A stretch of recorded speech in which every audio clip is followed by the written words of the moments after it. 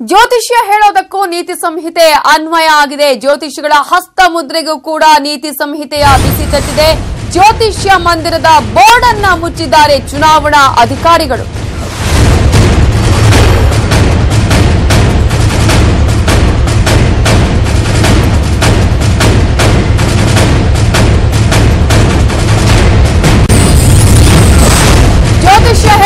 ನೀತಿ ಸಂಹಿತೆ ಅನ್ವಯ ಆಗಿದೆ. ಜ್ಯೋತಿಷ್ಯಗಳ ಹಸ್ತ ಮುದ್ರೆಗೂ ಕೂಡ ನೀತಿ ಸಂಹಿತೆಯ ಬಿಸಿ ತಟ್ಟಿದ್ದು ಜ್ಯೋತಿಷ್ಯ ಮಂದಿರದ ಬೋರ್ಡ್ ಅನ್ನ ಮುಚ್ಚಿದ್ದಾರೆ ಚುನಾವಣಾ ಅಧಿಕಾರಿಗಳು.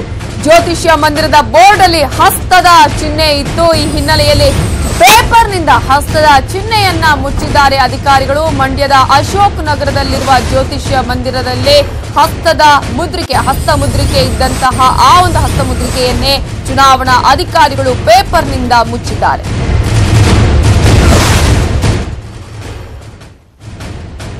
ಈ ಬಗ್ಗೆ ಡೀಟೇಲ್ಸ್ ಕೊಡೋದಕ್ಕೆ ನಮ್ಮ ರಿಪೋರ್ಟರ್ ರಾಘವೇಂದ್ರ ಈಗ ಫೋನ್ ಸಂಪರ್ಕದಲ್ಲಿದ್ದಾರೆ. ರಾಘವೇಂದ್ರ, ಈಗ ನೀತಿ ಸಂಹಿತೆ ಎಲ್ಲೆಲ್ಲಿ ಅನ್ವಯ ಆಗುತ್ತೆ ಎಲ್ರಿಗೂ ಗೊತ್ತಿರುವಂತಹ ವಿಚಾರ. ಆದ್ರೆ ಈಗ ಜ್ಯೋತಿಷ್ಯಕ್ಕೂ ಕೂಡ ನೀತಿ ಸಂಹಿತೆಯ ಬಿಸಿ ತಟ್ಟಿದೆಯಾ ಹೇಗೆ ಅಂತ?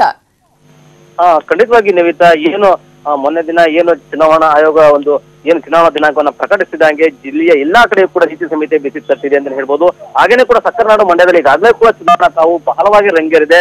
ಈ ನಿಟ್ಟಿನಲ್ಲಿ ಮಂಡ್ಯ ಜಿಲ್ಲೆಯಲ್ಲೂ ಕೂಡ ಒಂದು ರೀತಿಯಾಗಿ ಒಂದು ಕಡೆ ಜ್ಯೋತಿಷಿಗಳು ಕೂಡ ಈ ಒಂದು ನೀತಿ ಸಂಹಿತೆ ಬಿಸಿ ತಟ್ಟಿದೆ ಅಂತ ಹೇಳ್ಬೋದಾಗಿದೆ. ಯಾಕೆಂದ್ರೆ ಮಂಡ್ಯದಲ್ಲಿರುವಂತಹ ಬಹುತೇಕ ಜ್ಯೋತಿಷಗಳ ಕೇಂದ್ರ ಮುಂದೆ ಹಾಕಿರುವಂತಹ ಬೋರ್ಡ್ ನಲ್ಲಿರುವ ಅರ್ಥವನ್ನ ಈಗ ಆ, ಚುನಾವಣಾಧಿಕಾರಿ ಗಣನೆಗೆ ಗುರಿಯಾಗಿದೆ. ಹೀಗಾಗಿ ಏನು ಆ ಒಂದು ಬೋರ್ಡ್ಗೂ ಕೂಡ ಚುನಾವಣಾಧಿಕಾರಿಗಳು ಈಗ ನಿರ್ಬಂಧವನ್ನು ಹೇಳಿದ್ದಾರೆ. ಯಾವುದೇ ಕಾರಣಕ್ಕೂ ಚಿಹ್ನೆಯನ್ನ ಪ್ರದರ್ಶನ ಮಾಡಬಾರದು ಅಂತ ಹೇಳಿ ಈಗ ಅವಕ್ಕೂ ಒಂದು ಕೂಡ ಪೇಪರ್ನಲ್ಲಿ ಹಾಕಿ ಇದು ಮುಚ್ಚುವ ಮೂಲಕ ಆ ಒಂದು ನೀತಿ ಸಮಿತಿ ಬಿಸಿ ತಟ್ಟಿದೆ ಅಂತ ಹೇಳ್ಬೋದು. ಈ ಒಟ್ಟಾರೆಯಾಗಿ ಹೇಳೋದಾದ್ರೆ ಏನು ಇದೀಗ ಒಂದು ನೀತಿ ಸಮಿತಿ ಬಿಸಿ, ಈಗ ಜ್ಯೋತಿಷಿಗಳಿಗೂ ತಟ್ಟಿರೋದು ನಿಜಕ್ಕೂ ಕೂಡ ಒಂದು ರೀತಿ ಅಚ್ಚರಿ ಅಂತ ಹೇಳಿದ್ರು ಕೂಡ ಈ ಬಾರಿ ಒಂದು ಚುನಾವಣಾ ಆಯೋಗ ಒಂದು ಕಟ್ಟುನಿಟ್ಟಿನ ಕ್ರಮ ಕ್ರಮಕ್ಕೆ ಮುಂದಾಗಿರುವಂತದ್ದು ಶ್ಲಾಘನೀಯ ಕಾರ್ಯ ಅಂತ ಹೇಳ್ಬೋದು. ಆದ್ರೂ ಕೂಡ ಈ ರೀತಿಯಾಗಿ ಚುನಾ, ಏನು ಜ್ಯೋತಿಷಿಯ ಕೇಂದ್ರಗಳಲ್ಲಿರುವಂತಹ ಒಂದು ಚಿಹ್ನೆಗೂ ಕೂಡ ಈ ಬಾರಿ ಒಂದು ಬಿಸಿ ತಟ್ಟಿರೋದು ನಿಜಕ್ಕೂ ಕೂಡ ಅಚ್ಚರಿ ತರುವಂತದ್ದು ನವಿತಾ ರಾಘವೇಂದ್ರ, ಈಗ ಈ ರೀತಿಯಾಗಿ ಈಗ ಚುನಾವಣಾ ಅಧಿಕಾರಿಗಳು ಮಾಡಿದ್ದಾರೆ. ಅಲ್ಲಿರುವಂತಹ ಈಗ ಜ್ಯೋತಿಷಿಗಳು ಏನ್ ಹೇಳ್ತಾರೆ ಇದರ ಬಗ್ಗೆ ಅಂತ ಹೇಳಿ. ಖಂಡಿತವಾಗಿಯೂ ನವಿತಾ ಈಗ ಈ ಹಿಂದೆ ಯಾವುದೇ ರೀತಿಯ ಈ ರೀತಿಯ ಒಂದು ನಿರ್ಬಂಧ ಇರಲಿಲ್ಲ. ಆದ್ರೆ ಈ ಬಾರಿ ಏನು ಚುನಾವಣಾ ಆಯೋಗದ ಒಂದು ಕಠಿಣ ಒಂದು ನಿರ್ಬಂಧ ಈ ರೀತಿಯಾಗಿ ಒಂದು ಜ್ಯೋತಿಷಿಗಳಿಗೆ ತಟ್ಟಿರೋದು. ಈ ನಮ್ಮ ಪ್ರಕಾರ ಹೇಳೋದಾದ್ರೆ ಏನು ಅವರು ಹೇಳ್ತಿರುವಂತದ್ದು ನೀವು ನಮ್ಮ ಜ್ಯೋತಿಷಕ್ಕಿರುವಂತಹ ಒಂದು ಬೋರ್ಡ್ ಹಾಕಿದ್ರೆ ಮುಂದೆ ದಿನ ಹೂಗಳೇನಾದ್ರು ಅಂದ್ರೆ ಕಮಲ ಹೂ ಇದ್ರೆ ಅದಕ್ಕೂ ಕೂಡ ನೀವ್ ಏನ್ ಮಾಡ್ತೀರ ಪ್ರಶ್ನೆ ಹೇಳ್ತಿದ್ದಾರೆ. ಆದ್ರೆ ಜ್ಯೋತಿಷಿಗಳು ಕೂಡ ಏನು ಚುನಾವಣಾ ಆಯೋಗದ ಕಟ್ಟುನಿಟ್ಟಿನ ಕ್ರಮಕ್ಕೆ ಈಗ ಅವರು ಕೂಡ ಎಚ್ಚ ಎಚ್ಚೆತ್ಕೊಂಡಿದ್ದಾರೆ. ಅವರು ಕೂಡ ಎಲ್ಲೋ ಒಂದು ಕಡೆ ನಮ್ಮ ವ್ಯವಹಾರ ಓದು ಪರವಾಗಿಲ್ಲ, ಚುನಾವಣೆ ಆಗೋವರೆಗೂ ಕೂಡ ಮುಚ್ಚುತ್ತೀವಿ ಅಂತ ಹೇಳ್ತಿದ್ದಾರೆ. ಆದ್ರೆ ಅವ್ರು ಹೇಳೋದೇನು, ಇದರಿಂದ ನಮ್, ನಿಮ್ಗೇನಾದ್ರು ಇದಾಗುತ್ತಾ? ಅದು ಹಿಂದೆಂದು ಇರದೇ ಇರೋದ್ರಿಂದ ಕಠಿಣ ಕ್ರಮ ಈ ಬಾರಿ ಏನಕ್ಕೆ ಅನ್ನೋ ಪ್ರಶ್ನೆಯನ್ನು ಮಾಡ್ತಿರೋದು. ಆದ್ರೂ ಕೂಡ ಈ ಚುನಾವಣಾ ಆಯೋಗದ ಒಂದು ನಿರ್ದೇಶನದ ಮೇರೆಗೆ ಈ ಎಲ್ಲಾ ಕ್ರಮವನ್ನು ಕೂಡ ಜಿಲ್ಲಾಡಳಿತ ಕೈಗೊಂಡಿರುವಂತ ಎಲ್ಲಿ ಒಂದು ಸಿಂಬಲ್ ಸಿಕ್ ಕಾಣುತ್ತೆ, ಆ ಸಿಂಬಲ್ಗೆ ಒಂದು ಕಠಿಣ ಕ್ರಮಗಳು ಅಥವಾ ಜಾಹೀರಾತುಗಳಿರುವಂತಹ ಒಂದು, ಆ ಹೂವಿನ ಫಲಕ ಅದು ಎಲ್ಲವನ್ನು ಕೂಡ ಮುಚ್ಚುತ್ತಿರುವ ಒಂದು ಕ್ರಮಗಳು ಕೂಡ ಈಗ ನಡೆದಿರುವಂತದ್ದು ನವಿತಾ. ಥ್ಯಾಂಕ್ ಯು ರಾಘವೇಂದ್ರ ಡೀಟೇಲ್ಸ್ಗೆ. ಹಳೆ ವಿವಾದಕ್ಕೆ ಹೊಸ ಟಚ್ ಅನ್ನ ಕೊಟ್ಟಿದ್ದಾರೆ ಶ್ರೀಕಂಠೇಗೌಡ. ಸುಮಲತಾ ಮಂಡ್ಯ ಗೌಡ್ತಿ ಅಲ್ಲ, ಈಗ ಯಜಮಾಂತಿ ಯಜಮಾಂತಿಯಿಂದಲೂ ಕೂಡ ಕುಟುಂಬ ರಾಜಕಾರಣ. ನಡೀತಾ ಇದೆ ಅನ್ನುವಂತಹ ಹೊಸ ಒಂದು ಟಚ್ ಅನ್ನ ಕೊಟ್ಟಿದ್ದಾರೆ ಹಳೆ ವಿವಾದಕ್ಕೆ ಶ್ರೀಕಂಠೇಗೌಡ ಅವರು ಸುಮಲತಾ ಮಂಡ್ಯ ಗೌಡ್ತಿ ಅಲ್ಲ ಈಗ ಯಜಮಾಂತಿ ಅನ್ನುವ ಮಾತನ್ನ ಹೇಳಿದ್ದಾರೆ.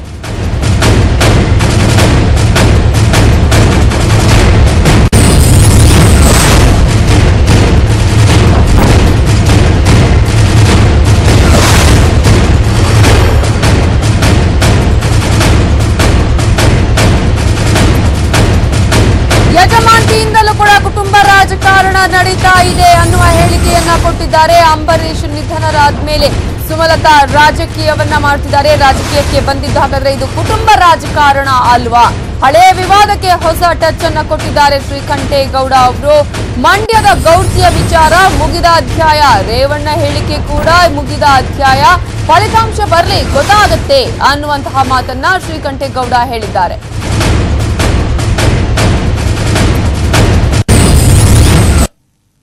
ಸುಮಲತಾ ಅವರು ಅಂಬರೀಷ್ ನಂತರ ಸ್ಪರ್ಧೆ ಮಾಡೋದು ಕುಟುಂಬ ರಾಜಕಾರಣ ಅಲ್ವಾ? ಯಾರು ಈಗ ಸದಾನಂದಗೌಡರು ಕುಟುಂಬದಲ್ಲಿ ಯಡಿಯೂರಪ್ಪನವ್ರ ಕುಟುಂಬದಲ್ಲಿ ಯಾರ ಕುಟುಂಬದಲ್ಲಿ ಇವತ್ತು ಕುಟುಂಬ ರಾಜಕಾರಣ ಇಲ್ಲ? ಎರಡೂ ಮೂರೂ ಪಕ್ಷಗಳಲ್ಲಿ ಕುಟುಂಬ ರಾಜಕಾರಣ ಸಹಜವಾಗಿದೆ. ಇದು ನೇರವಾದ ಚುನಾವಣೆಗೆ ಆಯ್ಕೆಯಾಗಿ ಹೋಗ್ತಾ ಇರ್ತಕ್ಕಂಥ ನಾಮಕರಣದ ಪ್ರಶ್ನೆ ಅಲ್ಲ. ಚುನಾವಣೆಯಲ್ಲಿ ಜನ ಯಾರನ್ನು ಬೇಕೋ ಅವ್ರನ್ನ ಆಯ್ಕೆ ಮಾಡಿ ಕಳಿಸ್ತಾರೆ. ರೇವಣ್ಣರ ಹೇಳಿಕೆ ಇನ್ನೊಂದು ಹೇಳಿಕೆ ಅವೆಲ್ಲ ಮುಗಿದ ಅಧ್ಯಾಯ. ಈ ಬಾ ಈಗ ಬಹುಶಃ ಮುಂದಿನ ಹೈಕಮಾಂಡ್ನ ಕಾಂಗ್ರೆಸ್ನ ನಿರ್ಧಾರ ಮತ್ತು ನಮ್ಮ ವರಿಷ್ಠರ ದೇವೇಗೌಡರ ಮತ್ತು ಕುಮಾರಸ್ವಾಮಿ ಅವರ ನಿರ್ಧಾರ. ಯಜಮಾನತಿಯ ಪ್ರಶ್ನೆ ಯಜಮಾನತಿಯ ಪ್ರಶ್ನೆ ಮುಗಿದ ಅಧ್ಯಾಯ ಸುಮಲತಾ ಅವರು ಈಗಾಗಲೇ ಯಜಮಾಂತಿ ಅನ್ನುವಂತಹ ಮಾತನ್ನ ಕೂಡ ಹೇಳಿದ್ದಾರೆ. ಯಜಮಾಂತಿಯ ಒಂದು ವಿಚಾರಕ್ಕೆ ಸಂಬಂಧಪಟ್ಟಂತೆ ಅದು ಮುಗಿದ ಅಧ್ಯಾಯ ಅನ್ನುವಂತಹ ಮಾತನ್ನ ಹೇಳಿದ್ದಾರೆ. ಹಳೆ ವಿವಾದಕ್ಕೆ ಹೊಸ ಟಚ್ ಅನ್ನು ಕೊಟ್ಟಿದ್ದಾರೆ. ಹಾಗಾದ್ರೆ ಸುಮಲತಾ ಅವರು ಮಾಡ್ತಾ ಇರೋದು ಕುಟುಂಬ ರಾಜಕಾರಣ ಅಲ್ವಾ ಅನ್ನುವಂತಹ ಪ್ರಶ್ನೆಯನ್ನು ಕೇಳಿದ್ದಾರೆ. ಈಗ ಸುಮಲತಾ ಅವರು ಯಜಮಾಂತಿಯಂತೆ ಈಗಾಗಲೇ ಗೌಡ್ತಿಯ ವಿಚಾರ ಆಯ್ತು. ಈಗ ಯಜಮಾಂತಿಯಿಂದಲೂ ಫ್ಯಾಮಿಲಿ ಪಾಲಿಟಿಕ್ಸ್ ವಿಚಾರ ಬರ್ತಾ ಇದೆ. ಫಲಿತಾಂಶ ಬರಲಿ, ಗೊತ್ತಾಗುತ್ತೆ ಅನ್ನುವಂತಹ ಮಾತನ್ನ ಶ್ರೀಕಂಠೇಗೌಡ ಅವರು ಹೇಳುವುದರ ಮೂಲಕ ಹಳೆ ವಿವಾದಕ್ಕೆ ಹೊಸ ಟಚ್ ಅನ್ನ ಕೊಟ್ಟಿದ್ದಾರೆ. ಮಂಡ್ಯ ಗೌಡ್ತಿ ಅಲ್ಲ ಈಗ ಯಜಮಾಂತಿ ಅನ್ನೋದನ್ನ ಕೂಡ ಹೇಳಿದ್ದಾರೆ. ಸುಮಲತಾ ಸುಮಲತಾ ಅವರು ಅಂಬರೀಷ್ ನಂತರ ಸ್ಪರ್ಧೆ ಮಾಡೋದು ಕುಟುಂಬ ರಾಜಕಾರಣ ಅಲ್ವಾ? ಯಾರು ಈಗ ಸದಾನಂದಗೌಡರು ಕುಟುಂಬದಲ್ಲಿ, ಯಡಿಯೂರಪ್ಪನವ್ರ ಕುಟುಂಬದಲ್ಲಿ, ಯಾರ ಕುಟುಂಬದಲ್ಲಿ ಇವತ್ತು ಕುಟುಂಬ ರಾಜಕಾರಣ ಇಲ್ಲ? ಎರಡೂ, ಮೂರೂ ಪಕ್ಷಗಳಲ್ಲಿ ಕುಟುಂಬ ರಾಜಕಾರಣ ಸಹಜವಾಗಿದೆ. ಇದು ನೇರವಾದ ಚುನಾವಣೆಗೆ ಆಯ್ಕೆಯಾಗಿ ಹೋಗ್ತಾ ಇರ್ತಕ್ಕಂಥ ನಾಮಕರಣದ ಪ್ರಶ್ನೆ ಅಲ್ಲ. ಚುನಾವಣೆಯಲ್ಲಿ ಜನ ಯಾರನ್ನು ಬೇಕೋ ಅವ್ರನ್ನ ಆಯ್ಕೆ ಮಾಡಿ ಕಳಿಸ್ತಾರೆ. ರೇವಣ್ಣರ ಹೇಳಿಕೆ ಇನ್ನೊಂದು ಹೇಳಿಕೆ ಅವೆಲ್ಲ ಮುಗಿದ ಅಧ್ಯಾಯ. ಈ ಬಾ ಈಗ ಬಹುಶಃ ಮುಂದಿನ ಹೈಕಮಾಂಡ್ನ ಕಾಂಗ್ರೆಸ್ನ ನಿರ್ಧಾರ ಮತ್ತು ನಮ್ಮ ವರಿಷ್ಠರ ದೇವೇಗೌಡರ ಮತ್ತು ಕುಮಾರಸ್ವಾಮಿ ಅವರ ನಿರ್ಧಾರ. ಯಜಮಾನತಿಯ ಪ್ರಶ್ನೆ ಯಜಮಾನತಿಯ ಪ್ರಶ್ನೆ ಮುಗಿದ ಅಧ್ಯಾಯ. ಸುಮಲತಾ ಅವರು ಅಂಬರೀಷ್ ನಂತರ